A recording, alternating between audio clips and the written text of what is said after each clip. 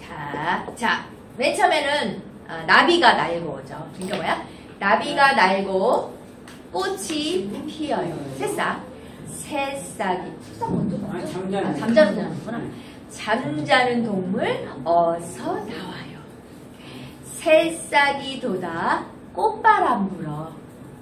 봄이 왔어요. 랄랄랄라. 여기서 나, 저는 제일 좋은 단어가 꽃바람이에요. 바람이 부는데, 봄바람, 그냥 바람이 아니라 꽃이 날려서 꽃바람을 이렇게 벚꽃 날리듯이 그런, 그래서 너무 그게 좋다. 자, 한번 노래 부르면서 한번 해보도록 하겠습니다. 시작! 나비가 나는 꽃이 피어요. 잠자는 나와 새싹이 새싹이 돋아 꽃바람 불어 봄이 왔어요. 랄라랄랄라. 아시겠죠? 약간 올드한 스타일일 수도 있는데 어 괜찮아요. 조금 신나게 부르면 더 재밌어요. 자 다시 한번 해볼까요? 시작. 나비가 날고 꽃이 피어 잠자는 동물?